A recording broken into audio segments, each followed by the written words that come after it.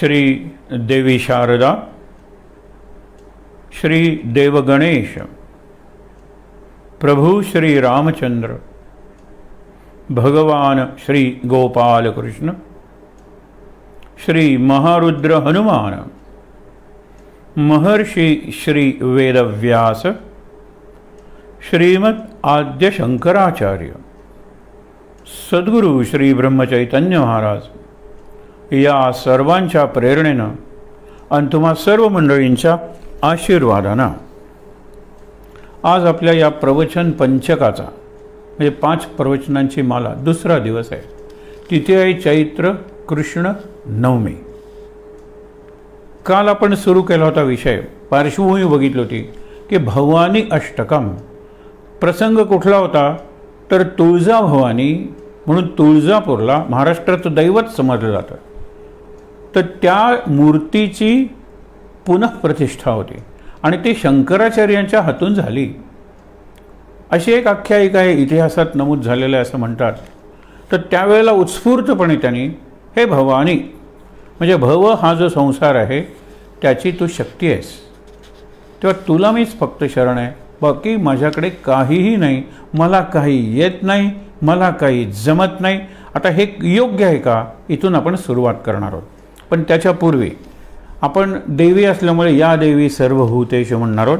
पहिल्यांदा मी नमस्तस्यय नमस्तस्यय म्हणेन पण दुसऱ्यापासून शेवटपर्यंत आपण सगळ्यांनी बरोबर म्हणायचं.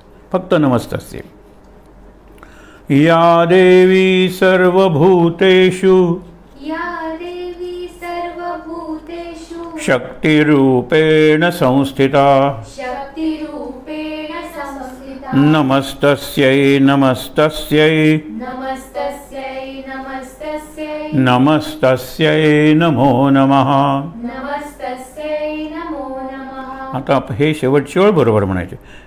या देवी सर्वभूतेषु या देवी सर्वभूतेषु बुद्धिरूपेण संस्थिता। नमस्तस्यै नमस्तस्यै नमस्तस्यै नमो नमः। या देवी सर्वभूतेषु।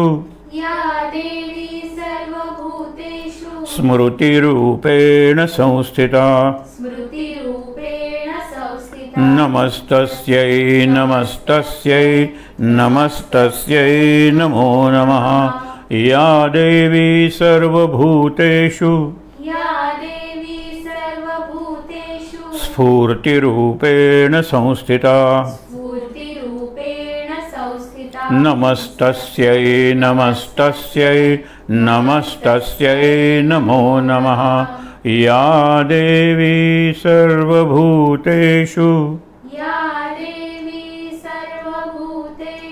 शान्तिरूपेण संस्थिता नमस्तस्यै नमस्तस्यै नमस्तस्यै नमो नमः। या देवी सर्वभूतेषु। या देवी सर्वभूतेषु। मातृरूपेण संस्थिता नमस्तस्यै नमस्तस्यै नमस्तस्यै नमो नमः नमस्तस्यै नमो नमः। शांत।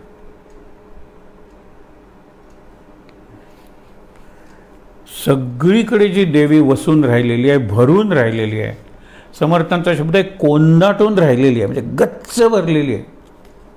ती देवी भवानी. आता ती देवी सरस्वती का हो? लक्ष्मी का हो? पण भवानी म्हणजे भव. त्याच्यावर जिचं वर्चस्व आहे. भव हे जसं संसाराचा शब्द आहे तसं शिवाचंही नाव आहे. म्हणून भवानी म्हणजे एका अर्थाने शिवानी. आपण पार्वतीची तपश्चर्या बघितली होती. तर पहिल्यांदा ती पार्वती असते नंतर हिमानी होते नंतर अपर्णा होते नंतर उमा होते आणि नंतर एवढी शक्ती येते की भवानी म्हणजे सर्व सृष्टीवर एकतर ती सृष्टीची माता आहे जगत जननी जगन्माता हे पुढचं तिचं वर्णन आहे. पण आत्ता ती उपासना करते कशासाठी? जो जगत पिता शंकर आहे भव त्या भवाला मी आपलंसं करीन. भवात मी एकरूप होऊन जाईन मिलन होईल माझं. आणि मग त्या संयोगातून जो पुत्र निर्माण होईल तो तारकासुराचा असं ऋषीने सांगितलं होतं. तोच तारकासुराचा वध करेल. तर मुद्दा काय आपला?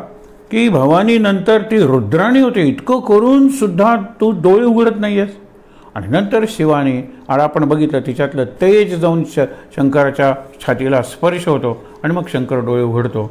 आणि पुढची कथा आपण काल बघितली होती. आता काय आपण बघणार आहोत आज? की ते स्तोत्र शंकराचार्यांनी जे लिहिलेलं आहे. त्याच्यात सगळीकडे मला हे येत नाही मला ते येत नाही माझ्याकडे ते नाही माझ्याकडे ते नाही. आत्मषटकम म्हणून सुद्धा आपल्याला माहीत आहे. की मी बुद्धी नाही आहे मी चित्त नाही आहे मी इंद्रिय नाही आहे मी पंचमाहूत नाही आहे हे नाही आहे नाही आहे नाही आहे नाही आहे सांगत. ते काय सांगतात? की शेवटी मी चिदानंद रूप शिवोहम शिवोहम. मी फार वरचा आहे. ह्या खालच्या गोष्टी आहेत. इथे काय सांगितलेलं आहे? मला हे येत नाही मला ते येत नाही माझ्याकडे हे नाही आहे माझ्याकडे ते नाही आहे मला हे जमत नाही मला हे शक्य होत नाही. मला हे कधीच जमणार नाही असं वाटतं. एक गोष्ट मात्र मला जमते. त्वमेकमम त्वमेकम हे जे आहे ना त्वमेका। गतिस्त्वम गतिस्त्वम त्वमेका भवानी। हे मात्र मला जमतं। आणि ते जमतं म्हणूनच मी जिवंत आहे। शंकराचार्य हे स्वतःबद्दल म्हणत असतील का? न जानामी। म्हणल्यानंतर ते स्वतःबद्दल म्हणत असतील का? शंकराचार्यांचा अधिकार केवढा होता? भवानी अष्टक जे लिहितात त्यांना काहीच येत नाही। न विद्या काहीच येत नाही मला। असं जे म्हणतात तर आपण जर विचार केला तर लक्षात येईल की शंकराचार्य हे आपल्यासाठी म्हणत आहे म्हणजे प्रार्थना भक्तांसाठी केलेली आहे त्यांनी. आणि भक्तांसाठी म्हणजे आपण. आता एवढं काहीच नाही का माझ्याकडे? त्यांनी हे प्रातिनिधिक वर्णन केलेलं आहे. प्रातिनिधिक म्हणजे रिप्रेझेंटेटिव्ह मग यातल्या काही गोष्टी माझ्याकडे असतील तर काही नसतील. काही गोष्टी यांच्याकडे असतील यांच्याकडे नसतील. म्हणून त्यांनी सांगितलेलं आहे. पहिल्यांदा काय सांगितलं? अगदी पहिल्यांदा की नाती जी आहेत ना सगळी ती नाही आहेत. आपण जो म्हणतो ना नाती ही गोत्यात नेणारी असतात. काल आपण आणखीन एक मुद्दा बघितला होता की रूपक भव भव सागर भव भव नदी आणि भव भव अटवी भवाटवी. अटवी म्हणजे अरण्य आणि नदी आणि सागर आपल्याला माहीत आहे. काय रूपक आहे हेही आपण काल बघितलं होतं. की सागरावर जशा लाटा आहेत ना तशा या संसारात सतत लाटाच असतात. संसार स्थिर नाही आहे जी लाट उठते ती लाट कधी ना कधीतरी विरून जाते. आपल्या प्रपंचातल्या सगळ्याच गोष्टी तशा आहेत. कुठलीही गोष्ट कॉन्स्टंट अशी नाहीच आहे या प्रपंचात. फ्रॉम इन्स्टंट टू इन्स्टंट आणि चेंजिंग असं या संसाराचं स्वरूप आहे. आपण नेहमीच म्हणतो की या जगात या सृष्टीत जग म्हणजे वर्ल्ड वाटेल. सृष्टी म्हणजे nature. There is one thing which is not changing and that is change itself change सोडून काही सगळंच बदलत राहतं. मग चेंज का बदलत नाही? Because it is changing no चेंजच त्याचं नाव आहे. जसं आपण गमतीनं लहान मुलं म्हणतात ना की कुठला शब्द आहे की ज्याचा उच्चार कायम रॉंग होतो. रॉंग हा शब्द आहे. नाहीतर बाकीच्यांचे उच्चार ह्याचा बरोबर असेल तर त्याचा चुकेल. रॉंग तसं चेंज चेंजिंग. हे जर लक्षात घेतलं तर मला वाटतं की आपल्याला भवानी म्हणजे काय ते कळेल. भव भव भव चेंज आहे. आणि त्या चेंजची जी शक्ती आहे त्या बदलाची शक्ती आहे ज्या स्थित्यंतराची जी शक्ती आहे ज्या परिवर्तनाची ती शक्ती आहे ती शक्ती भवानी आहे. मग परिवर्तन कशात घडत नाही? माझ्या केसात घडत नाही का? अरे केसाचा रंग बदलत जातो भवानी शक्ती आहे. माझ्या दातात नाही का? अरे दात पडत जातात भवानी शक्ती आहे. माझ्या डोळ्यात नाही का? अरे डोळ्यांची शक्ती कमी होत जाते माझ्या डोळ्यात. ही भवानी आहे. मग प्रत्येक क्षणाची म्हणून ती शक्ती आहे. आला क्षण थांबला क्षण गेला क्षण भवानी आहे. हा कण मला दिसतोय. अरे पण हा कण गेला भवानी आहे. म्हणून प्रत्येक गोष्टीवर भवानीचं राज्य आहे भवानीचं साम्राज्य आहे. रूपक जर स्पष्ट करायचं असेल तर महाभारताचं जे युद्ध झालं ना ती एक नदी असं रूपक केलेलं आहे. आणि आपल्याला कळेल की असंच नदीबद्दलचं रूपक आपण आपल्या प्रपंचासाठी करू शकतो आपल्या जीवनासाठी करू शकतो संसारासाठी करू शकतो आपल्या देहासाठी करू शकतो. अटवी म्हणजे अरण्य. काल आपण बघितलं होतं की जडभरत आणि राजा रहुगण यांच्यातला तो संवाद आहे. अरण्यात अचानक कुठून शाप देईल माहीत नाही. तसं अचानक कुठून हा करोना आला कुणालाच कळलं नाही. सगळ्या जगाला कळलं नाही. आजच्या जगात तर केवढी यंत्रणा आहे? यंत्रणा सगळी मोजमापं करणारी आहे आधी काय होणार आहे? पण तरीसुद्धा अजून आपल्याला भूकंप वादळ आता कळतात आपल्याला पण आपण प्रिव्हेंट करू शकत नाही. पण सुनामी कुठे काय होईल ज्वालामुखी? सांगता येत नाही आपल्याला. मुद्दा काय आहे की भवानी ही शक्ती आहे तिला शरण गेलं की या गोष्टी समजल्या काय न समजल्या काय? जमल्या काय न जमल्या काय? लक्षात आलं ना? की गुरुला मी जर हातचा घेतला हातचा म्हणजे आठ अधिक तीन अकरा हातचा एक. अठरा अधिक चार बावीस हातचे दोन. आपण जे म्हणतो ना वरचे हातचा एकच आहे आपला परमेश्वर. बाकी सगळी शून्य आहेत त्या एकाला महत्त्व आहे. इथे तेच म्हणतात एका भवानी त्वमेका भवानी तू एकच आहेस. आणि ती जर मी हातची धरली ती जर मी आत्मसात केली तिच्याशी मी जर अद्वैत जमवलं माझ्यातून ती व्हायला लागली फार महत्त्वाचा शब्द आहे शक्ती आहे ती ती व्हायला लागली तर मग माझ्याकडे हे असलं काय नसलं काय? वडील नीट वागले काय नाही वागले काय?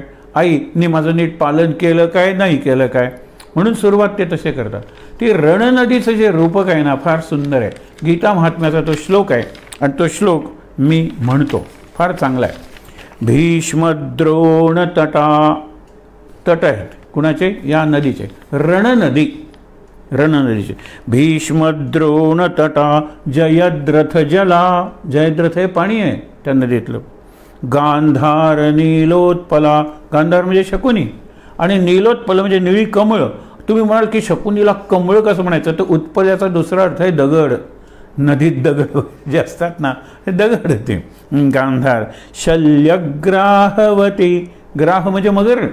हे संसार रूप भवसागर रूपात आहे समुद्रात असतात भवनदी रूपात असतात ह्या सगळ्या गोष्टी आहेत. आणि आपण ज्यांना जंगली श्वापद म्हणतो ती अरण्य अटवी त्या रूपकाती आहेत. गांधार शल्यग्राहवती कृपेण वहनी. तिचा वहा प्रवाह आहे तो कृपाचारी आहेत. कर्णेन वेला कुला. हे जे बाजूची वाळू असते ना रेती आपण वेळेर वता म्हणतो ना वेळेर तशी ती वेला. तो कर्ण आहे. अश्वत्थाम विकर्ण घोर मकरा मगरी आहेत अश्वत्थामा विकर्ण. दुर्योधनावर्तिनी. दुर्योधन भोवरा आहे. सतत फिरतोय. त्याच्यात अडकला. काल आपण बघितलो नदीत डोह असतो नदीत भोवरे असतात सागरात लाटा असतात. अखंड लाटा असतात. नदीवर कधी कधी लाटा येतात पण भोवरे असतात. दुर्योधनावर्तीने. सोत्तीर्णा खलू पांडव अशी ही नदी आहे ना ती पांडव ओलांडून गेले. त्याने विजय मिळवला या सगळ्यांवर. सोत्तीर्णा खलु पांडवई रणनदी कारण कैवर्तक केशव हा त्याच्या नावेत बसून गेले. त्या नावेचा जो नावाडी होता तो केशव म्हणजे कृष्ण होता. आता हे रणनदीचं रूपक केलेलं आहे. आता हेच रूपक आपण स्पष्ट करून बघतोय. जीवन म्हणल्यानंतर काय काय येतं. पहिल्यांदा नाती येतात. तर त्यांनी काय सांगितलेलं आहे? न तातो न माता न बंधुर न दाता. माझे वडील वडिलांसारखे नाही आहेत आपण जे बघितलं जे हय व नाही आहे वडील वडिलांचं कर्तव्य एक साधा शब्द सांगतो आपल्याकडे धर्म म्हणून शब्द आहे. It is set of duties पितृधर्म माझे वडील पाळतच नाहीत. मग त्यांना वडील कसं म्हणायचं? न माता मातृधर्म आई पाळतच नाहीत. मातृधर्म म्हणजे सतत लहानपणी तरी मुलाच्या बरोबर न नको का? नाही. पहिले काही दिवस आता चाइल्ड केअर लिव्ह म्हणून दोन वर्ष वगैरे देतात पण तरी ते पुरेसं नाही आहे ज्यावेळेला मूल खरंच त्याला कळायला लागतं तेव्हापासून आई दूर आहे. आणि सकाळी सातला मूल जर शाळेत गेलं आणि संध्याकाळी सातला आई जर ऑफिसमधून आली तर ते बारा तास आई आणि मूल एकत्र नसतात. आणि they are the active hours of the day ही शोकांतिका नाही का? म्हणून काल आपण एक कथाही बघितली होती ते पुन्हा नको बघायला. न बंधू. बंधू म्हणजे भाऊ. भाऊ बंध पाहिजे ना. बंधू बंध. ते भाऊ बंद की कोर्टात नेतात. बंधू म्हणजे मित्र. कुठला मित्र? कधी आपण म्हणतो ना केव्हा केसानं गळा कापेल सांगता येत नाही. शांतपणे त्याच्यावर बाजूला झोपू नकोस. त्याच्यावर विश्वास ठेवू नकोस तो. हे महत्त्वाचं आहे. त्याच्यानंतर न दाता. काल बघितले ना दाता म्हणजे काय? काहीतरी त्यांची अपेक्षा असते. आपण त्या दात्याबद्दल बघितलं आहे ना दोन गोष्टी आपल्याला माहीत आहेत. थोड्या रिवाईज करूया. की अकबराला एकदा आंघोळ करताना लक्षात येतं की आपल्या हातावर केस नाही आहे प्रश्न बिरबलालाच विचारायचा सगळ्यांना विचारला कुणाला हातावर केस का नाही काय नाहीत म्हणून नाहीत? एवढंच लोकांनी उत्तर दिलं नाही म्हणला. तुम्ही दान देता न दाता तुमच्यासारखा दाता कोणी नाही? दान देऊन देऊन देऊन देऊन तुमच्या हातावरचे केस गेले. त्यावेळेला मग बिरबला तुझ्या हातावरही केस नाही तो म्हणतो दान घेऊन घेऊन घेऊन घेऊन. माझ्या हातावरचे केस गेले त्यांनी तो वेळ मारून नाही दे पण त्याचबरोबर आपण एक कविता नेहमी म्हणतो की देणाऱ्याने देत जावे घेणाऱ्याने घेत जावे. पण घेणाऱ्याने घेता घेता एक दिवस देणाऱ्याचे हात घ्यावेत. म्हणजे द्यायला शिकायला नको का? पण कुठलाही दाता मला निरपेक्ष दाता आढळत नाही. म्हणून न तातो वडील नाहीत न माता न बंधू न दाता न पुत्र न पुत्री न भृत्यो न भरता. मुलगा मुलासारखा वागत नाही. का वागत नाही? कारण वडील वडिलांसारखे वागत नाहीत आई आईसारखे वागत नाही आणि तुम्ही याला परिस्थिती म्हणत असाल तर म्हणजे परिस हेच वर्णन परिस्थितीचं आहे की परिस्थितीचे गुलाम आहात. मग परिस्थितीवर मास्टरी म्हणजे नियंत्रण असणारी प्रभुत्व असणारी तीच भवानी आहे. भवानी म्हणजे काय? ती देवी. म्हणून लक्षात ठेवा. ही जी परिस्थिती आहे आहे परिस्थिती. या परिस्थितीवर मला जर जमवून घ्यायचं असेल तर काय? माझ्या बाजूला भवानी असली पाहिजे. आपण लहानपणी पत्ते खेळायचो. आजोबा तुम्ही माझ्या बाजूला या. आजोबा माझ्या बाजूला असले की भीती नाही. कारण आजोबा तरवेज आहेत त्या खेळात. मग माझ्या बाजूला जर एखादी अशी व्यक्ती असेल किंवा माझ्यातून अशी शक्ती वाहत असेल तर मला भीतीच कशाची? ती शक्ती भवानी आहे. हे लक्षात ठेवा. म्हणून न पुत्र न पुत्री पुत्रींचं तसंच आहे. कारण हल्ली तुम्हाला परिस्थिती म्हणजे मुलं शिक्षणासाठी जातात आणि आपण जीवाचा आटापिटा करून त्यांना परदेशात पाठवतो. आणि मग आयत्या वेळेला ती येत नाही तो येऊ शकत नाही तो. त्यांचंही बरोबर आहे. मग रडता कशाला? ठेविले अनंते तैसेची राहावे चित्ती असो द्यावे समाधान. ते नाही त्यांना कसं यायला जमणार आहे? मग रडत नाही बरोबर आहे मुलाचं. त्याला कसं यायला जमणार? परत परत. ते काय पुण्याहून कोल्हापूरला यायचं आहे नाही. ते अमेरिकेहून यायचे. असं असं का नाही बोलत? काय हो आत्ता मुलगा असता तर पण काय करायचं? तो तरी हे रडगाणं कशाला? ही रडकथा कशाला? हे रडकथेचं वर्णन आहे. आणि माझ्या जीवनाची रडकथा आहे ना ती जर हास्यकथा नाही ती जर प्रसन्न कथा आनंद कथा व्हायची असेल तर मला भवानीची गरज आहे. त्या शक्तीची गरज आहे. न भृत्य भृत्य म्हणजे नोकर. म्हणून त्याला पण तिमाजीची ती गोष्ट गजानन महाराजांच्या चरित्रात ती बघितली होती. भृत्य म्हणजे नोकर. आणि नोकर हल्ली काय एक तरी नोकर नोकरासारखा वागतो का? म्हणून एका साहेबांनी गमतीनं म्हणलं होतं. दोन साहेब भेटले होते आणि बोलत होते ए तुझे पिऊन कसे वागतात रे? म्हणाला बिलकुल ऐकत नाहीत. एखाद्या वेळेला मी हाका मारली तर शेजारचा क्लर्क असतो टायपिस्ट वगैरे तो धावत येतो. साहेब काय पाहिजे का तुम्हाला? पिऊन तिथे स्टुलावर बसलेला असतो तो येत नाही. दुसरा म्हणला माझी परिस्थिती बरी आहे म्हणले. मी काय करतो पूर्वी असे टेंग टेंग असे बेल असायचे माहिती आहे ना? बेल वाजवतो मी टेंग टेंग त्या बाजूला जातो. साहेब काय पाहिजे? हां टेंग टेंग पाणी पाहिजे. पाणी पाहिजे. मी जाऊन पाणी घेऊन येतो. मी जाऊन पाणी घेऊन येतो. ही सध्या नोकरांची अवस्था आहे. म्हणजे मला फार पूर्वी प्रभूजी तुम चंदन हम पाणी. म्हणजे तू चंदन आहेस मी पाणी आहे उगाळूया गंध. हे कुणाला म्हणलेलं आहे? नोकराला म्हणलेलं आहे. तो फार विनोदी झाला होता. आम्ही शाळेत शिकलो आहोत इतक्या जुन्या हीच परिस्थिती आहे. आणि शंकराचार्याने काही शे वर्षांपूर्वी लिहिलं आहे त्या वेळेला नोकरांची अशीच परिस्थिती होती. तो म्हणतो दाढी करायला बसतो हा. मी एकच उदाहरण लावतो. दाढी करायला बसतो? आणि दाढी होत नाही आहे तर त्यावेळेला म्हणतो काय केलं? दाढी कशी होत नाही आहे नाही म्हणला अरे दातून छिलगे. त्यावेळेला दातून बाबळीच्या काड्या असतात बघा. आणि त्याकडून त्या चावून त्या बाबरीच्या याने ते गाठतात. तो ब्रश वगैरे करतात वगैरे. मग दातून छिल गे या ब्लेडनी. तर तुमचे बाल नाही कटते. तो म्हणतो म्हणजे या ब्लेडनी तो लाकूड कापलेस? हो म्हणला. कल्पना करा. नंतर साबण मला नाही आहे हा महिने तुमच्या आधी आंघोळ केली. आणि मला पाजामा जो होता ना पायी पिजामा पण म्हणतो तो पायजामा. तुम्ही धुतला सगळा साबण संपला. तो म्हणतो प्रभूजी तुम चंदन हम पाणी ही परिस्थिती भृत्य नोकराची आहे. नोकर नोकर नाही आहे दास दास नाही आहे स्वतः मी कसा दास आहे? त्याच्याबद्दल पुढे फार चांगलं सांगितलं आहे बघा त्यांनी काय सांगा न भरता. भरता म्हणजे भरणपोषण करणारा. म्हणजे माझा मालकसुद्धा असेल. भरता म्हणजे काय? वडीलच असायला पाहिजे असं नाही. राजा हा सगळ्यांचा करता धरता भरता राजा आहे. काही राजे आपले नेते आहेत. नाही ना? आपल्याकडे एकदा पुरवठा मंत्री असतात. योग्य पुरवठा करतात का? नाही. सगळ्यांचं कशाला सांगायला पाहिजे? आपल्याला कळतं सगळीकडे भरता म्हणजे फक्त अन्न देणारा पैसे देणारा पगार देणारा असं नाही लक्ष देणारा. शाळेचा मुख्याध्यापक आणि वर्गाचा वर्ग शिक्षक हे लक्ष देणारे आहेत ते भरते आहेत पण नाही लक्षच नाही. की मग बाकीच्या शिक्षक कुठे बघतात? पण वर्ग शिक्षिका तू जर असशील तर तुझं ते लक्ष आहे. पण भरण पोषण करणं हे महत्त्वाचं आहे. पण कुठलाही भरता भरता म्हणून योग्य नाही. माझ्या जीवनात तरी नाही असं सांगता येत. न जाया. जाया म्हणजे पत्नी. म्हणजे मलाच निर्माण करते. म्हणजे मला मुलगा होऊ दे किंवा मुलगी होऊ दे माझा अंश असतो ना. आणि तिचाही अंश. ती जी निर्माण करते जन्म देते तिला जाया म्हणतात. पुत्र किंवा पुत्री पण मा माझा अंश स्वतःतून जन्माला घालते ती जाया. पत्नी. पत्नी पत्नीसारखी नाही. हे उघडच आहे. पती पतीसारखा नाही आहे उघड आहे. त्यामुळे काय? न विद्या. माझ्याकडे विद्याही नाही म्हणतात. विद्या म्हणजे खरंच तुम्हाला सांगतो की एकच ब्रह्मविद्या आत्मविद्या. ब्रह्मज्ञान आत्मज्ञान. बाकी सगळी आहेत ना ती अज्ञान आहेत म्हणजे अपूर्ण ज्ञान आहेत. अज्ञान म्हणजे अपूर्ण ज्ञान. एक ज्ञान असेल तर दुसरं नाही हो. एखादं वाद्य बघा तो म्हणतो मी फक्त तंतुवाद्य वाजवू शकतो. वायुवाद्य मला जमत नाही. चर्मवाद्य मला जमणार नाही. हे तर वादनातलं आहे. संगीतातलं म्हणतो की मला ते तुमचं जमणार नाही. मी ख्याल गायकीचा आहे किंवा मी मैफिली वगैरे सजवणार आहे. मला ते जमत नाही. क्रिकेट खेळणारा म्हणतो मला हे जमत नाही टेनिस खेळायला. फुटबॉल खेळणार म्हणतो मला व्हॉलीबॉल जमत नाही.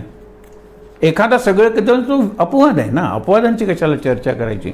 म्हणून लक्षात ठेवा न वृत्ती वृत्तीर्ममैव इथे काल आपण थांबलो होतो. वृत्ती वृत्ती म्हणजे जीवनाचं साधन उदरनिर्वाहाचं साधन. आपण जे म्हणलं आहे ना योगक्षेम वृत्ती निरनिराळ्या प्रकारच्या वृत्ती होत्या. हल्ली आपल्याला वृत्ती हा शब्दच गेला. वृत्ती शब्द आपण ॲटिट्यूड या शब्दाने वापरतो. आणि ॲटिट्यूडसुद्धा सध्या तरुण पिढी निराळ्या अर्थाने वापरते. पण वृत्तीचा खरा अर्थ आहे शिष्यवृत्ती. म्हणजे तू चांगला शिष्य बन तुझं सगळं शिक्षणाचा खर्च मी करेन. त्याला शिष्यवृत्ती म्हणजे स्कॉलरशिप म्हणायचे. दुसरी माधुकरी ही वृत्ती. घरोघरी जायचं. ओम भवती भिक्षांदेही भिक्षावृत्ती आहे ती. म्हणून आपण बघितलं होतं उदरनिर्वाहाचं साधन ते सुद्धा माझं नीट नाही आहे आता वृत्ती बघाल ना तर सकाळी शिक्षक आणि संध्याकाळी ट्युशन्स जर असेल ना तर शिक्षक सकाळी शाळेत गैरहजर राहील पण ट्युशनला तो हजर असतो.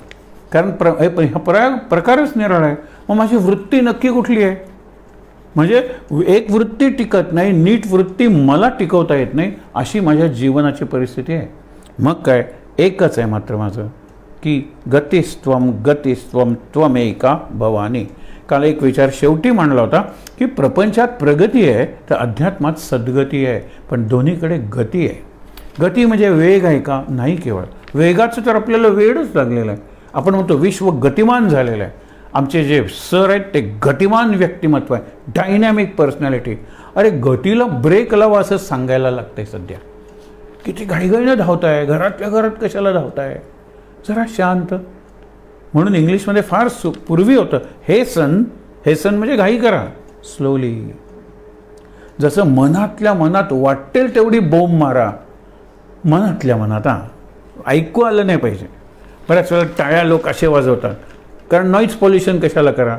टाळ्या वाजवण्याचं समाधान आहे. टाळ्या वाजवण्याचा व्यायाम आहे. पण तो ध्वनी नाही आहे जो ध्वनी प्रदूषित होतो. प्रदूषण कर. विचार करूया आपण. म्हणून काय सांगितलं? गतिस्त्वम तू माझी गती आहेस. गती म्हणजे आपण म्हणतो ना की त्याला गणितात गती नाही आहे मला स्वयंपाकात गती नाही. मी प्रयत्न केले पण ते जमत नाही. विचार करा. एक सांगत होती की मी किती चांगले चांगले पदार्थ बनवते पण तुम्हाला मी खरंच सांगतो कितीही लसूण घातला आणि मी सोलकढी केली तरी माझ्या सोलकढीला लसणाचा वास येत नाही. आणि हा मी प्रयोग करून सांगतोय. आज करा बरं. हे नवीन लसूण आणलेत. करा बरं. नाहीच येत.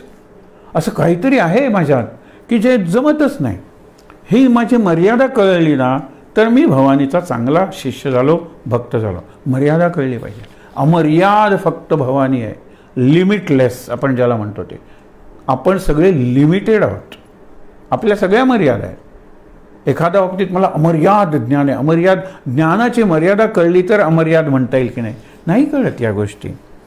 पुढे सांगितलं भवाब्धाव पारे आपण भवाब्ज म्हणजे आत्ता सांग भवसागर. म्हणून ते रूपक वाचून दाखवलं नदीचं. मग भवसागर आहे मी पार करून जाऊ शकत नाही. पूर्वी आपण बघितलं होतं. पार इस पार उस पार.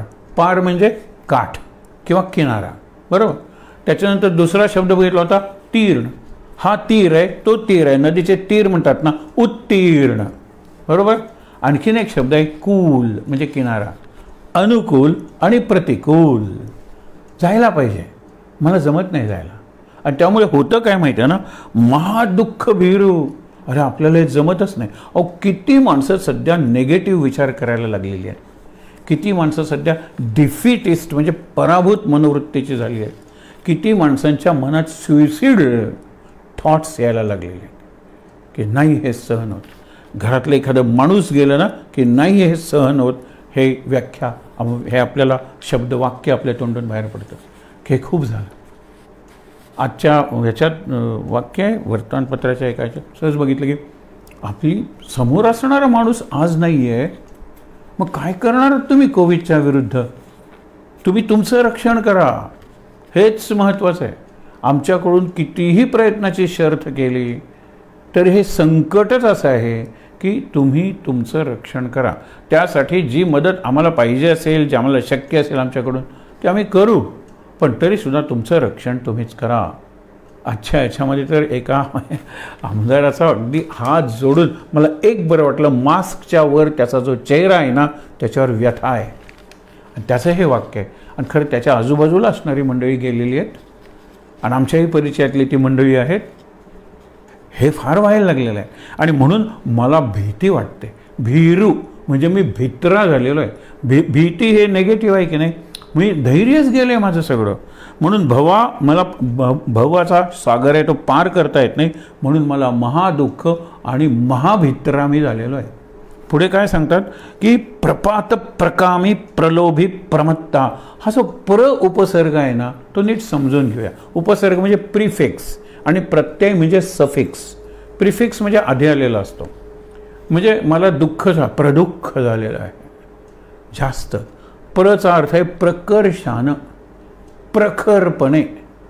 आपण म्हणूया चांगलं असेल तर प्रकाशितपणे प्रसन्नपणे प्रगतपणे प्रस्थान ठेवलं.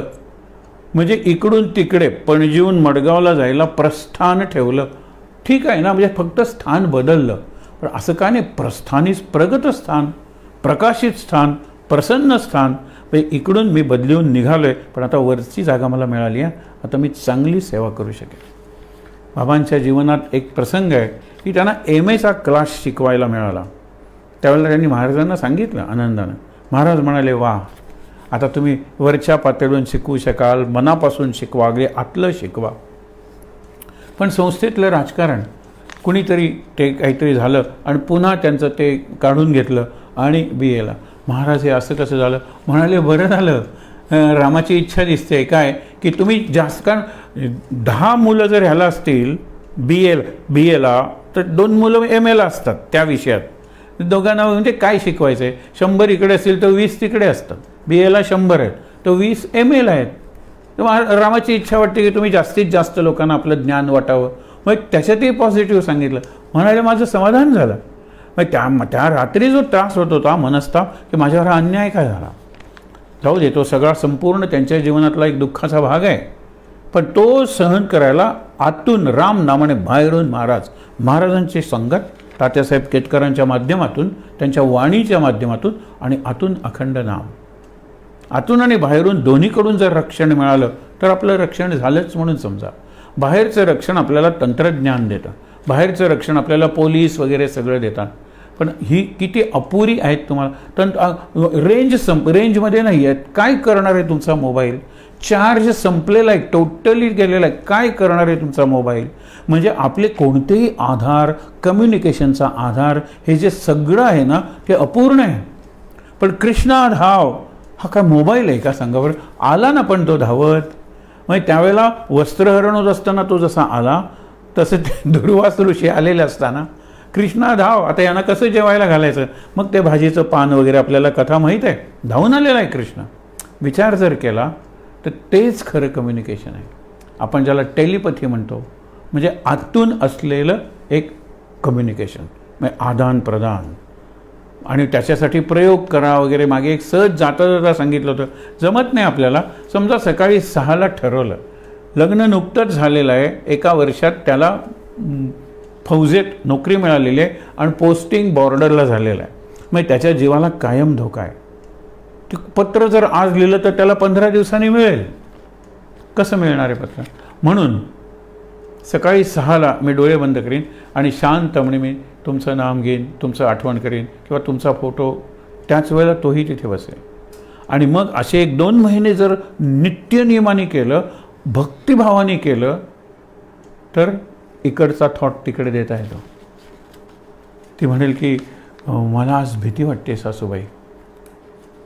का? त्यांचा मला स्वर ठीक वाटला नाही. तू कुठे त्याचा स्वर ऐकलास? ती म्हणाली आम्ही बोलतो. आता बोलणं हे बोलणं कसं बोलणं आहे? पूर्णपणे अमूर्त अबस्ट्रॅक्ट अव्यक्त बोलणं आहे ना. आणि नंतर दोन दिवसांनी बातमी येते की ही वॉज किल्ड आणि त्याच त्याच दिवशी मला त्यांचं बोलण्यात हे आपण शेवटचं तर बोलत नाही आहे ना असे काहीतरी शब्द ते म्हणाले. हे फार महत्त्वाचं आहे. आणि इथून पुढे ही जी टेलिपथी आहे ना त्याचा अभ्यास करून ते जर आपण बनवलं तर तेवढंच आहे. ज्याला कॉर्डलेस कम्युनिकेशन लोक म्हणायचे पूर्वी. आता हे किती कॉर्डलेस झालेलं आहे? मोबाईल कुठे कॉर्ड कॉर्ड आहे त्याला? नाही आहे कॉर्डलेसच आहे. पण तरी टॉवर लागतो. आता सॅटेलाईट कम्युनिकेशन तरी सॅटेलाईट लागतो. कारण सॅटेलाईट कम्युनिकेशन म्हटलं ते सॅटेलाईटचे एक शॅडो असते. आता हा सॅटेलाईट त्यावेळेला इकडे असेल तर कायम कम्युनिकेशन मिळू शकेल. माणसाला कुठेही मिळेल. परंतु तरीसुद्धा काहीतरी मध्यवर्ती सॅटेलाईट जर बंद पडला सॅटेलाईटचं सुद्धा लाईफ आहे ना? त्याच्यानंतर काय? म्हणून म्हणतो की तंत्रज्ञान अत्यंत चांगलं आहे. विज्ञान चांगलं आहे. पण विज्ञान तंत्रज्ञान सायन्स अँड टेक्नॉलॉजी ही कितीही म्हणलं तरी बाहेरची आहेत. आत्मज्ञान हे आतलं आहे. आत्मच आहे ना ते.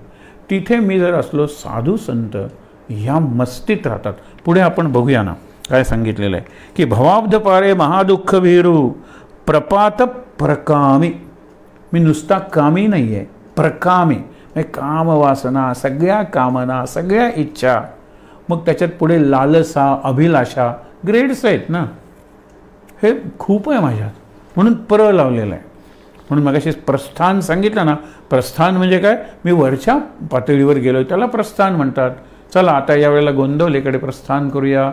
म्हणजे परत आल्यानंतर गोंदवल्याकडून काहीतरी मी असं घेऊन येईन की माझ्या जीवनाची माझ्या आध्यात्मिक उंचीची पातळी वाढलेली आहे. त्याला प्रस्थान प्रगत स्थान का नको म्हणायला? तर तसं इथे प्रपात प्रकामी काय शब्द आहे बघा प्रपात म्हणजे धबधबा. माझ्या कामनांचा इच्छांचा धबधबा आहे. मग धबधबा कोसळत असतो तो. आणि पूर बारा महिने असणारे काही धबधबे असतात पाणी येत असतं आणि कोसळत असतं जात असतं. त्या धबधब्याला कधी विश्रांती आहे का? नाही आहे आणि धबधबा जर थांबला म्हणजे गोठला कधीकधी असे छोटे छोटे धबधबे असतात आणि अत्यंत कमी टेम्परेचर म्हणजे त्याच्या भागात असतात. ते गोठतात. एकदम थांबला धबधबा. आणि एकदम सुरू झाला. असं होतं. मोठे नायगरा वगैरे सारखे धबधबे आहेत. अखंड चालू असतात ते. प्रपात प्रकामी. असा मी आहे. नंतर प्रलोभी नुसता लोभी नाही आहे. तर प्रकर्षण लोभी आहे. अय लोभाची जर स्पर्धा लावायची झाली मी जिंकेन. महाराजांचं वाक्य फार गमतीदार आहे. की त्याचं इंग्लिशमध्ये सुद्धा आहे की if wishes were the horses जर इच्छा घोडे असतील तर भिकारी पहिला येईल. कारण त्याच्या सगळ्याच इच्छा आहेत. लंगोटीपासून सगळ्या इच्छाच. He would ride the horse and win the race if wishes were the horses आणि तुम्ही म्हणाल की निरपेक्षतेचा घोडा मग घोडा कशाला पाहिजे? निरपेक्ष जर आहे काहीच नको. तो खरा राजा आहे. कारण त्याला काहीच नको आहे. ज्याला हे हवं ते हवं ते हवं ते हवं. कसलं? काही नसलं तर चालेल ना. ते मानस पूजा. मानस अग्निहोत्र हे हे पाहिजे. सत्यनारायणाची तर यादीच असते. मानस सत्यनारायण जर केला तर. मला जर ती सगळी रचना वगैरे माहीत आहे शांतपणे मी बसलो. काही लागत नाही. पण त्यालाही ते आठ सुपाऱ्या लागतील हे लागतील पानं लागतील नारळ लागेल विडा लागेल सगळं लागेल. मनात आहे. संकल्पाने जर मी निर्माण केलं म्हणून मागे तुम्हाला एक जाहिरात सांगितली होती. लहर पेप्सी नावाची एक जाहिरात होती ती. सेवन म्हणून त्यांचं काहीतरी ड्रिंक आलेलं होतं. त्याच्यावर ते अगदी काडी पैलवान असा फायडो डिडो नावाचं कॅरेक्टर होतं. केस वगैरे वरती असायचे. आणि त्या फायडो डिडोचं वैशिष्ट्य होतं. तर चित्र वगैरे काढायचं एक सुंदर तरुणी आली पाहिजे. तरुणी तिथे आलेली. आहे ह्या तरुणीबरोबर मी सुंदर नाच केला पाहिजे. तो नाच करायला लागतो. नाच करून थांबले आता छान प्यायला पाहिजे. पेप्सी आलं. ही जाहिरात आली. गंमत बघा तुम्ही. त्याला पाहिजे तर तो निर्माण करू शकतो.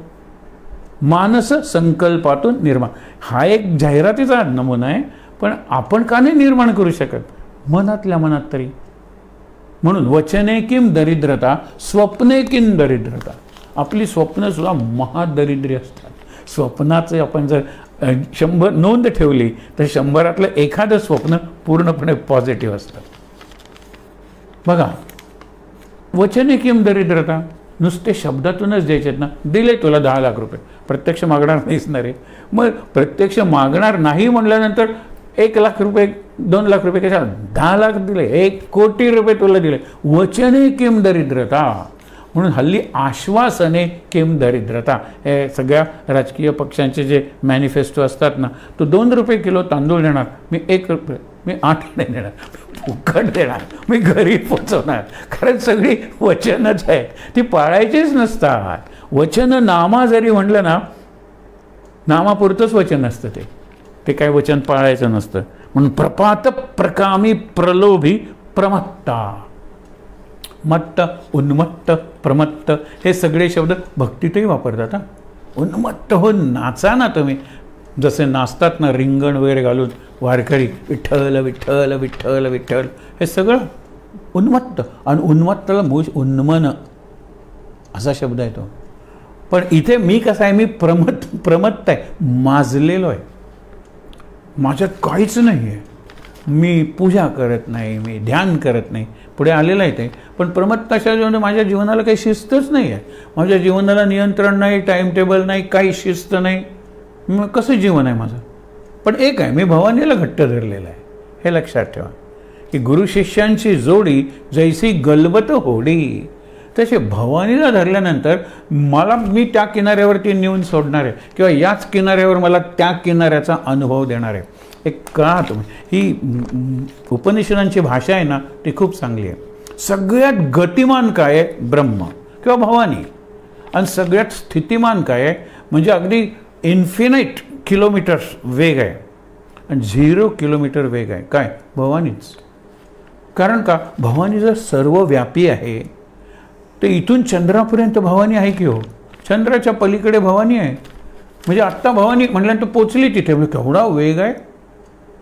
आणि भवानी म्हटल्यानंतर इथे आहे तिथे म्हणजे तिला वेगाची गरजच नाही आहे झिरो वेलॉसिटी आणि इनफायनाईट वेलॉसिटी ती भवानी आहे. ते ब्रह्म आहे. तो गुरु आहे.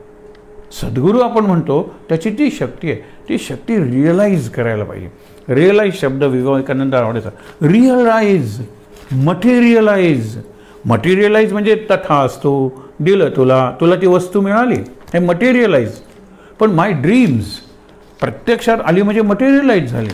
पण हे जे आध्यात्मिक अनुभव आहेत ना ते रिअलाईज झाले पाहिजे. Realisation is all realisation is religion realisation is लक्षात ठेवा लाईफ रिअलायझेशन इज एज्युकेशन जर रिअलाईजच झालं नाही तर काय? आपण म्हणतो ना बोलाचाचं भात बोलाचीचं कढी. खाऊन या तृप्त जेवून या तृप्त कोण झाला? बोलाचीच कढी आहे बोलाचाच भात.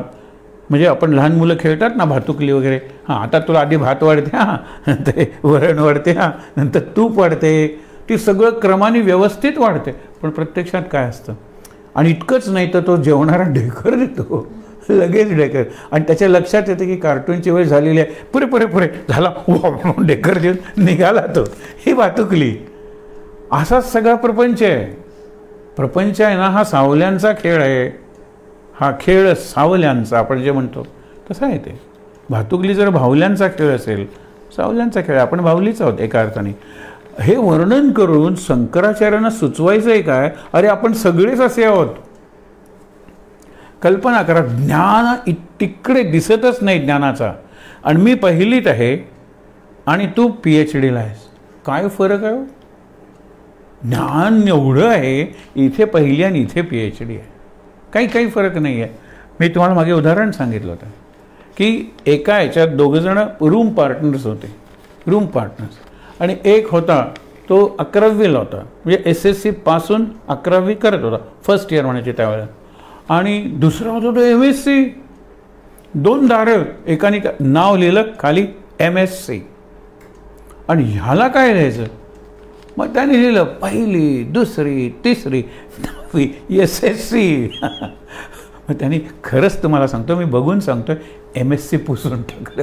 एम एस सी पुसून टाकलं कारण याची केवढी डिग्री आली नाव आणि त्याच्याखाली एवढी सगळी शेपटासारखी डिग्री असंच आहे सगळं. अनंताची जर कल्पना केली तर माझी सगळी अचिव्हमेंट आहे ना ती शांत आहे स अंत अनंत नाही आहे शांत आहे. मग ह्याच्याकडे लाख रुपये आहेत आणि ह्याच्याकडे कोटी रुपये आहेत. काय काय फरक आहे हो? शंभर वेळा लाख झाले की कोटी झाले? मुद्दा काय आहे? की असं काय निराळ आहे? आहे तो कुबेर आहे. दिसतो का कधी? तो कुबेर बँकेत आहे तो कुबेर लॉकरमध्ये आहे तो कुबेर प्रॉपर्टीमध्ये आहे. कसला कुबेर तो? कुबेर दानशूर असला पाहिजे दिला पाहिजे त्याने. उदाहरण नुसतं श्रीमंत नाही पुढे तर सांगे कुसंसार पाशबद्धा. मग माझा संसारसुद्धा कुसंसार आहे. कुसंसाराचे पाश आहेत आणि त्या पाशात मी बद्ध आहे. काय चित्र डोळ्यासमोर संसारही चांगला नाही आहे कुसंसार. आणि त्याचे पाश आहेत. पाश म्हणजे फास. आणि त्याच्यात बद्ध मी अडकलेलो आहे. मला कोण सोडवणार आहे? गतिस्त्वम गतिस्त्वम त्वमेका भवानी. मी अडलोय मला बांधलंय मी थांबलोय मला थोपवून धरलंय. तू ये गती. मला गती दे. माझी दिशा बदल जीवनाची. म्हणून गती शब्दाचे डिक्शनरीतले अर्थ बघा.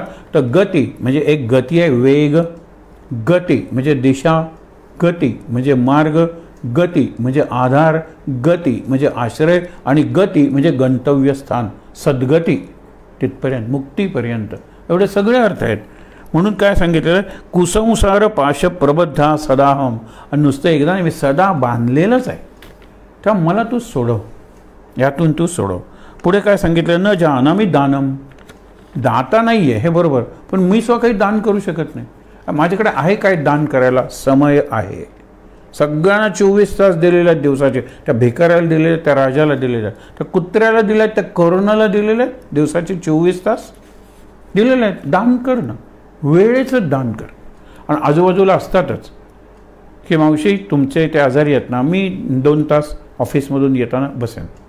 तुम्ही जरा उशिरा या म्हणजे रात्रीचं जेवण घेऊनच या. किती झालं? म्हणजे मी त्याच्याकडे सहाला पोचलो सहा ते आठपर्यंत दोन तास थांबलो. हे समयदान काही डेटीला माणसं समय देत नाहीत. आणि खरं समय हा त्यांच्यासाठी फुकट आहे. जरी प्रेशस असला किमती मौल्यवान असला तरी फुकट आहे. वेळ. आपण देत नाही.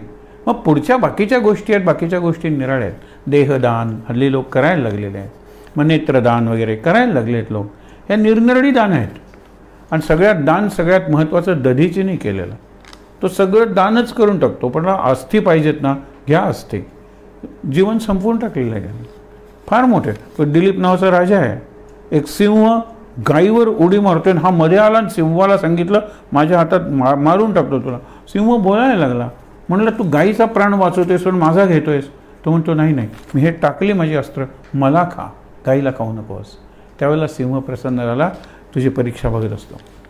तसाच तो शिबिराजा तो येतो कबूतर आणि कबूतर इथे बसतं. कबूतर आधी भित्रा प्राणी. आणि मागून ससाणा येतो. हॉक. तो म्हणतो माझा भक्ष्य मला दे. मी इतका पाठलाग करत आलेलो आहे. तो म्हणतो माझ्या आश्रयाला आलेला आहे. हे बरं आहे राजा तुझं. एकाचा प्राण वाचवायचा आणि दुसरा घ्यायचा. मी भुकेनं मरेन. माझं मांस घे ना. मांडीचं मांस कापून देतो. तुझ्या व या कबुतराच्या वजना एवढं मांस मी तुला देतो. शेवटी तो स्वतः बसतो कारण ती परीक्षा असते त्याची. कबूतर एवढं वजनदार असतं की या मांडीचं मांस दिलं त्या मांडीचं मांस दिलं. आणि शेवटी राजा म्हणतो की मी स्वतः बसतो. याच्यापेक्षा मला माझं देण्यासारखं असं काही नाही. त्यावेळेला तो अग्नी आणि वायू असतात ते प्रकट करून आणि सांगतात राजा तुझी कीर्ती दिगंत व्हावी. म्हणून आम्ही हा सगळं प्रयोग किंवा हे नाटक केलं. आणि त्याची कीर्ती अमर झाली. नाही तर मी आज गोष्ट सांगितली असते का त्याची? विचार करा. अमर झाली.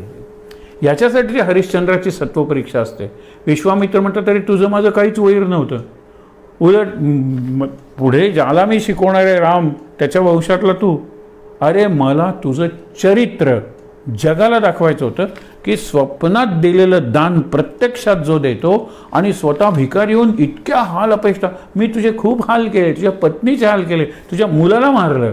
पण तुझं चरित्र उजळून टाकण्यासाठी परत तू राजा हो. आणि मग तो राजा झाला पुन्हा. तुझी सत्व परीक्षा बघत होतो. तसं इथे आहे की सदाहम न जाना मी दानम न जाना मी ध्यान योग मला काही येत नाही. मला ध्यान करता येत नाही जमत नाही. तुम्ही म्हणाल आपली इतकी ऑनेस्ट कन्फेशन आहे का हो देवाकडे? नाही तसं मी ध्यान करतो की. तुम्ही हल्ली लोकांना विचारा व्यायाम वगैरे करता का? हो करतो की. आहे किती? आहे नेहमीच करत नाही. म्हणून मी मला लोक सांगतो की माझा योगा योग आहे. माझा योग नाही. नित्य योग नाही. योगा योग. कधी आला केला योग. नाही तर नाही केला. पण एक आहे मी महाराज घेतलेले आहेत ना भवानीसारखे? महाराजांची शक्ती जर असेल तर या सगळ्या शक्ती. आणि शेवटी प्रारब्ध महाराज म्हणतात माझ्या देहाचं मी कुठे अस्थमा माझा चुकवला? सांगा बरं. अस्थमा दिवस होता काल. अस्थमा दिवस होता. आणि मग त्यामुळे काय? अस्थमा महाराजांना झाला होता. अस्थमा म्हणजे कोविडला अलीकडची पायरी. तो फुफ्फुसाचा रोग आहे श्वसनाचा रोग आहे आणि कोविड तिथेच करतो ना. म्हणून एक लक्षात ठेवा. हे जर सगळं आवरलं गेलं नाही ना तर परवा एकाने मुलाखतीत सांगितलं आणि डॉक्टर आहेत की जसे इटलीमध्ये आणि चायनामध्ये लोक चालता चालता पडायला लागले ना तसे आपल्या रस्त्यावर पडायला लागतील. सावध व्हा तुम्ही. आणि राज्याने भांडता एकमेकात तो टँकर पोचू देत नाहीत दिल्लीला कारण मधली दोन राज्य आहेत ना ती विरुद्ध पक्षाची आहेत. माझ्या राज्यातून टँकर नाही टँकर हाय हायजॅक करतात. हे म्हणजे हे जे आहे ना हे दुष्ट आहेत. हे भृत्यसुद्धा चांगले नाहीत ना नोकरसुद्धा त्याची उदाहरणं आहे ती. म्हणून पुढे न ध्यान योग मला जमत नाही. न जानामी तंत्रम. न जा स्तोत्र नाही मंत्र नाही तंत्र नाही. मला काही येत नाही. तंत्र म्हणजे पूजेचं तंत्र आहे. षोडशोपचार पूजा ना हे तंत्र आहे. मग त्या तंत्राचं लोकांनी आणखीन केलं. की हे हे हे मेल्यानंतर म्हणजे पितरांचं बोट आहे. हे हे हे हे हे तुझं बोट आहे. हे हे हे हे हे कुणाचं बोट आहे? देवाचं बोट आहे. हे हे हे कशाचं बोट आहे? सांगायला पाहिजे का? नाही. आणि हे कशाचं बोट आहे? तरुण पिढीला सांगायला का तर म्हणून मला सांगायचं आहे काय? की प्रत्येक बोटाला एक आम्ही काय रे, हे तंत्र आहे ना. माळ हे तंत्र आहे. माळेला ह्या बोट लावायचं नाही. म्हणून सांगितलं होतं ना एका संप्रदायात माळेच्या बो याला गोमुखीला दोन छिद्र असतात. एकातून माळ जाते दुसऱ्यातून हे बोट बाहेर येतं. आणि त्यांचा मंत्र चालू असतो. प्रत्येकजण एकमेकाकडे बोट दाखवत असतं. गंमत आहे. गंमत आहे. मला काय सांगायचं आहे तंत्राचं तुम्ही किती महत्त्व देणार आहात तंत्राला? मंत्राला महत्त्व नको का? तंत्र हे बाहेरून शिकता असतं बाहेरच असतं. म्हणून technique is we art is I. मी मंत्र आहे आणि आपण सगळ्यांचं म्हणून एक तंत्र आहे. आता गाडी चालवायला एक गाडी चालवल्यानंतर दुसरी गाडी नाही चालवता येत येते चालवता. आणि जरा काही नवीन असेल ते शिकलं की लगेच गाडी चालवता येते. तर तंत्र झालं आपण मंत्र. आणि आमचा सगळ्यांचा मंत्र श्रीराम जयराम जय जयराम त्याला मंत्र म्हणत नाहीत. ते मंत्राचे शब्द आहेत. मंत्र म्हणण्याची म्हणून एक पद्धत आहे. एखादं लहान पोर सुद्धा इतकं छान श्रीराम जयराम जय जयराम म्हणेल आणि तो त्याच्यात हे होतो. तल्लीन होतो. हल्लीचे लहान मुलं त्याला श्रीराम जयराम जय जयराम लहानपणापासून आम्ही ऐकायला शिकवले आणि त्याच्याशिवाय तो झोपत नाही. हे कंडिशनिंग आहे. चांगलं आहे. चांगलं आहे कंडिशनिंग पण हे कंडिशनिंग आहे. त्याच्याशिवाय तो झोपत नाही. म्हणून ते श्रीराम जयराम जय जयराम. पुढे काय? न जानामी तंत्रम न स्तोत्रमंत्रम न जानामी पूजाम न न्यासयोगम. निरनिराळ्या प्रकारचे न्यास असतात. आपण छातीवर घेऊन करतो छान्यास करन्यास हृदयन्यास. हे एक प्रकारे तंत्र आहे. आपण जनरली करत नाही पण प्रत्येक स्तोत्राची अशी दिलेली आहेत न्यास. रामरक्षा आहे विष्णू सत्सरणम आहे. पहिल्यांदा न्यास करा आणि मग ते सगळं करा सगळ्याकडून दिशा बांधून घ्या. आणि शेवटी आपण म्हणतो ना की मी कोणाचाही शत्रू नाही या क्षणी. माझं कोणीही शत्रू नाही आहे कारण मी काय करतोय आता? ब्रह्मकर्म सुरू करतोय. सर्वेशाम अविरोधेन ब्रह्मकर्म समारभेत हे ब्रह्मकर्म आपण हा सत्संग ब्रह्मकर्म आहे. जे चांगलं आहे ते ब्रह्मकर्म आहे. मग खरंच सगळी गोष्टी ब्रह्मकर्म का नाही? शेतकऱ्याचं शेती करणं ब्रह्मकर्म आहे. शेताची निगा राखणं तण काढणं बीज. महाराजांचं एक वाक्य आहे बीज चांगलं आहे का वाईट आहे तो आपल्याला कळत नाही. पण फळ चांगलं आहे का नाही कळतं की नाही? म्हणून बऱ्याच वेळेला काकडी आणली. किंवा काकडी नाही पपई आणि त्या पपई अत्यंत चांगलीच आहे. ह्या बिया जरा लाव रे आपल्या अंगणात. मला बी मग कळलंच नसतं ना. पण मला पपई कळली की नाही पपईची चव कळली रंग कळला या सगळ्या गोष्टी आहेत. म्हणून म्हणतात की बीजावरून कळत नसेल तर फळावरून तरी कळलं पाहिजे आणि चांगलं फळ पाहिजे तर चांगली बीज पेरली पाहिजे. न जानामी पूजाम न च न्यास योगम. योग कळत नाही न्यास कळत नाही हे सगळं आहे. पुढे काय? न जानामी पुण्यम. न जाणावे म्हणजे पुण्य काय ते मला कळतं पण माझ्याकडून घडत नाही. मी पुण्य वगैरे ते काय जाणत नाही या जाणत नाही म्हणजे मी मानतच नाही. आणि पुण्याची सोपी व्याख्या आहे परोपकार पुण्याय पापाय परपीडनम.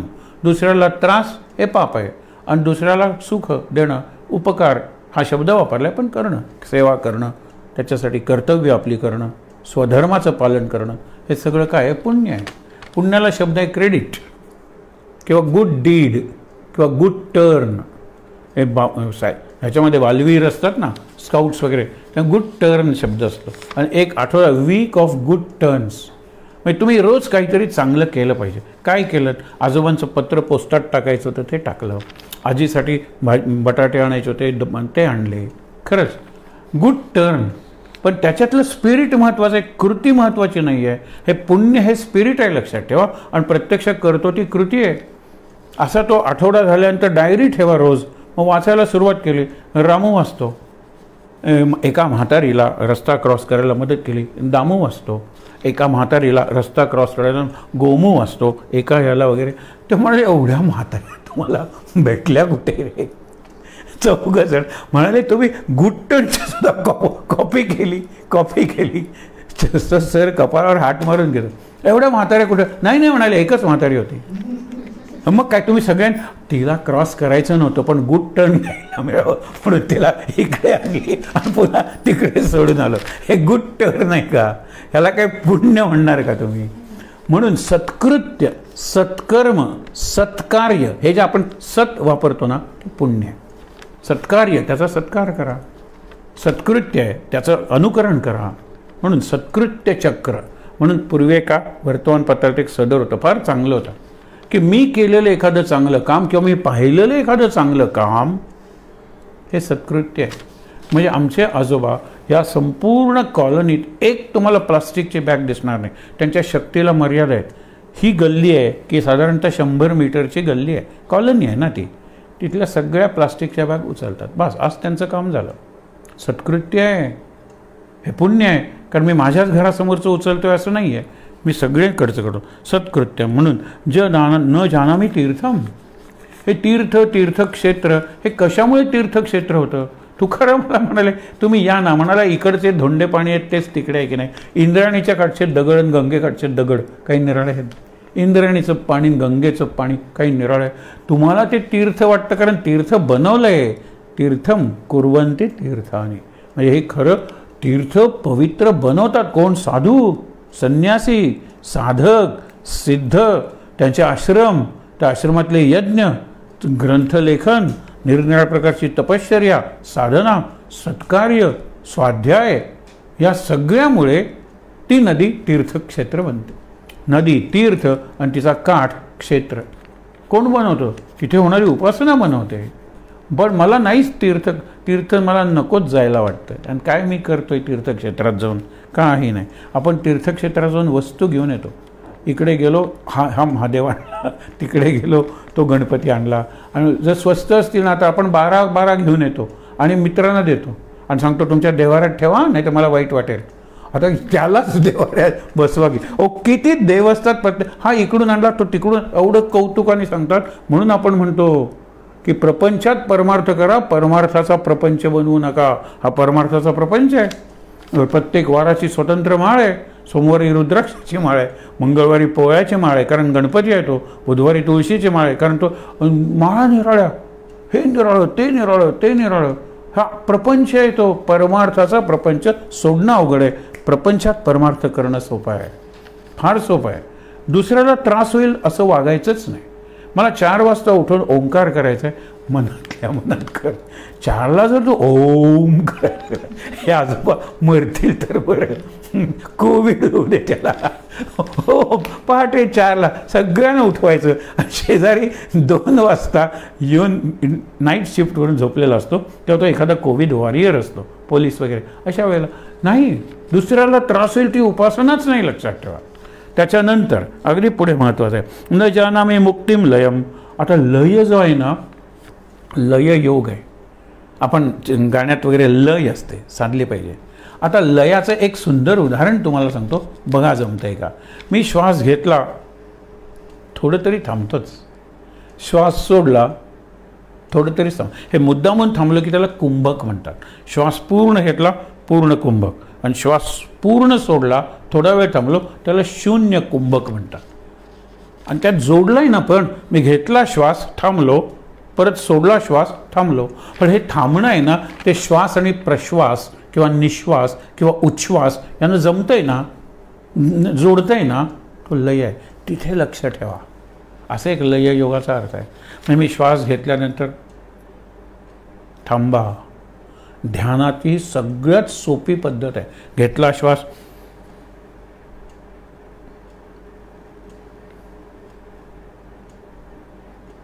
हे थांबणं आहे ना हा लय आहे. लय जर साधली या भवानीच्या माध्यमातून या सगळ्या विश्वाची लय आहे सूर्याच्या उदयाची लय आहे भरती ओहोटीची लय आहे निसर्गात सगळीकडे लय आहे. आणि ते जर जमलं नाही ना तर विलय प्रलय आणि सगळ्यात म्हणजे महालय. महालय म्हणजे महाळ श्राद्ध. जिवंतपणी लोक म्हणतात याचं श्राद्ध घालायला मी तयार आहे हो. मी तयार आहे. मरतच नाही. मी घातलेलं आहे महालय. पण लय साधला पाहिजे. आपलं रामरक्षेतलं सगळ्यात रामे चित्त लय सदा भवतु मे भो राम माम उद्धर उद्धार कर ही प्रार्थना करण्यापूर्वी रामे चित्त लय हे सांगितलेलं आहे. आणखीन एक वा वाचून आपण थांबणार आहोत. न जाना मी मुक्तीम मुक्ती म्हणजे काय मला माहीत नाही. मी कशातून मुक्त होऊ? कसं मुक्त होऊ? हे पुढे भवानीला मी तुला धरलेलं आहे ना तू माझं सगळं बघून घे. तू माझं बघून घे. न जानामी मुक्तिम लयम वा कदाचित न जानामी भक्तिम व्रतम वापिमा मला व्रत माहीत नाही. मला भक्ती हे सगळे शब्द जर आपण लिहून काढले ना तर मला काय माहीत आहे? फक्त भवानी माहीत आहे. ज्याला अनन्य भक्ती अनन्य शरणागती म्हणतो ना सर्व धर्मांपरित्याज्य. त्याचा हा अर्थ आहे सगळं सोडणं मुक्ती येत नाही ना जाऊ दे ते जाऊ दे. सहज गमत गंमत म्हणून तुम्हाला सांगतो की परीक्षेची रिव्हिजन चालू आहे. आणि परीक्षा पंधरा दिवसावर आलेली आहे. अशा वेळेला एक मुलगा म्हणतो की मला मॅग्नेटिझम जरा अवघड जाते रे. ए ऑप्शनला टाक रे. तर मला इलेक्ट्रिसिटीची जी गणितं वगैरे जमा ऑप्शनला टाक रे. लाईटचे जे रूल्स वगैरे ऑप्शनला टाक रे. शेजारी आजोबा झोपले होते आणि ते आले. तुला त्यांनी काय सांगितलं पाहिजे ना? फिजिक्स ऑप्शनला टाक तुला हे येत नाही. ऑप्शनला टाक. आणि तू हो म्हणतो खरंच ऑप्शनला टाकू? प्रत्येक वेळेला तू ॲट अ टाईम तोच लाईटच विचार करतोयस. पण over a period of time मी ऐकत होतो ना दोन मिनटं तुमचा संवाद हे ऑप्शनला अरे फिजिक्स ऑप्शनला टाक. बायोलॉजीमध्ये नाही मला ते रिप्रोडक्शन वगैरे कळत नाही. मला ऑप्शन तू परीक्षा ऑप्शनला टाक रे. पंधरा दिवसावर तुझी जर ही तयारी आहे. आपलं तसं होतं. काहीच नाही आहे माझ्याकडे. माझ्याकडे भवानी आहे. जसा तो संवाद आहे ना गाजलेला संवाद मेरे पास ये है मेरे पास वो है मेरे पास वो है तेरे पास क्या है? माँ है बस. की अशी माँ की जी तेरे पास नाही वो तुम्हारी भी माँ आहे. हा त्याच्यातला न बोललेला संवाद आहे. मेरे पास माँ आहे अरे तुझी माँ तुझी अरे माँ आपली आहे दोघांची. हे माझ्याकडे आहे. तशी माझ्याकडे काही नाही. मला काही जमत नाही. I am good for nothing I am गोबर गोबर गणेश. गोबर गणेश ग गोपाळ गणेश काही म्हणा माझ्यात अक्कल नाही काही नाही. भवानी माझी आहे. हे जर जमलं ना तर भास दुसरं काही करायला नको. आणि आता उलटं मी सांगतो व्हायस व्हरसा ज्याला म्हणतात कॉन्व्हर्स ज्याला म्हणतात ते हे जर सगळं असेल तर भवानी आपली होणं अव अवघड जातं. मला येतं मला ज्योतिष येतं मला हे येतं ते येतं मग भवानीची गरजच नाही आहे मला. पण काहीच येत नाही म्हणल्यानंतर जशी आई त्या मुलाला घेते तसे हे भवानी माते मातर हे भवानी माते मला तू तुझ्या कुशीत घे तुझ्या पदरात घे तुझ्या जवळ घे तुझ्या मांडीवर बसव. आणि मग काय पाहिजे? हा भाव आहे. उद्या हे पूर्ण करून आपण दैव्य पराध क्षमापन स्तोत्रम देवीचं दुसरं स्तोत्र आहे. ते शंकराचार्यांनी कुठे रचलं? त्याच्याबद्दल जी आख्यायिका सांगितली जाते ते बघून आपण सुरुवात करणार आहे त्या ठिकाणी ताट बसूया शांत. आता एक मुद्दा लक्षात आला असेल हे नाही ते नाही हे जमत नाही ते जमत नाही. पण मेरे पास माँ है भवानी माँ भवानी माता भवानी शक्ती. भवानी चैतन्य आहेच माझ्याकडे. तर बाकीच्या गोष्टी नसल्या तरी चालते म्हणजे गतिस्त्वम गतिस्त्वम त्वमेका भवानी हे पुन्हा पुन्हा सांगून घट्ट करण्यासाठी काय गोष्टी नाही आहेत ते सांगितलेलं आहे. एक वाक्य लक्षात ठेवूया. विवेकानंद कधी कधी चिडून म्हणायचे काय नकारात्मक तुमची विचार विचारसरणी आहे हो? एखाद्या मुरदाटासारखे प्रेतासारखे तुम्ही काय बसता? अरे शृण्वंतु ते अमृतस्य पुत्रा. तुम्ही अमृताचे पुत्र आहात तुम्ही अमृतच आहात. तसं आपण भवानी मातेचे पुत्र आहोत आपण भवानी माताच आहोत तिचा अंशच आपल्यात आहे. या विचारात आज थांबूया. खूप छान शांत. माझ्यानंतर म्हणायचंय श्रीराम जय राम जय जय राम. श्रीराम श्रीराम जय राम जय जय राम श्रीराम जय राम जय जय राम श्रीराम जय राम जय जय राम श्रीराम जय राम जय जय राम श्रीराम जय राम जय जय राम श्रीराम जय राम जय जय राम। श्रीराम जय राम जय जय राम। श्रीराम जय राम जय जय राम। श्रीराम जय राम जय जय राम। श्रीराम जय राम जय जय राम। जानकी जीवन स्मरण जय जय राम। शक्तिमंत्र म्हणजे भवानी मंत्र आपण म्हणूया। सर्वमंगलमांगल्ये शिवे सर्वार्थसाधिके शरण्ये त्र्यंबके गौरी, नारायणी नमोऽस्तु ते जय नारायणी नमोऽस्तु ते शांतिपाठ ॐ सहनावतो सहनौ भुनक्तु सहवीर्यं करवावै करवावहै तेजस्विनावधीतमस्तु मा विद्विषावहै. ॐ शान्तिः शांति शांति। तीनदा दीर्घ श्वासोच्छ्वास।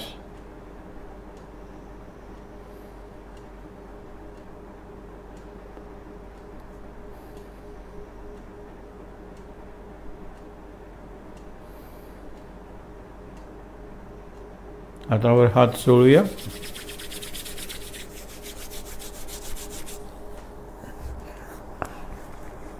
चेहऱ्यावरून डोळ्यांवर. अगदी सावकाश डोळ्यावरून समोरचे सर्व देवी रूपांची प्रतिनिधी अशी असलेली ती आपण म्हणतो ना मुख प्रतिमा. त्याच्यात काली दिसते त्याच्यात महालक्ष्मी दिसते सगळे भवानी तर दिसतेच दिसते. सद्गुरुनाथ आणि मुख्य म्हणजे शंकराचार्य आद्य शंकराचार्य.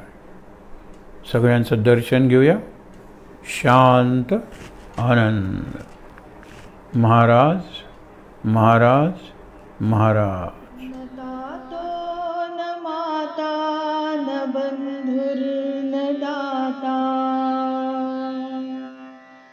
पुत्रो न पुत्री न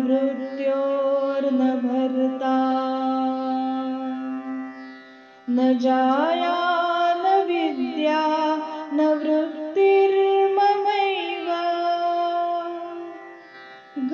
गतिस्त्वं गतिस्त्वं त्वमेका भवानी। गतिस्त्वं गतिस्त्वं त्वमेका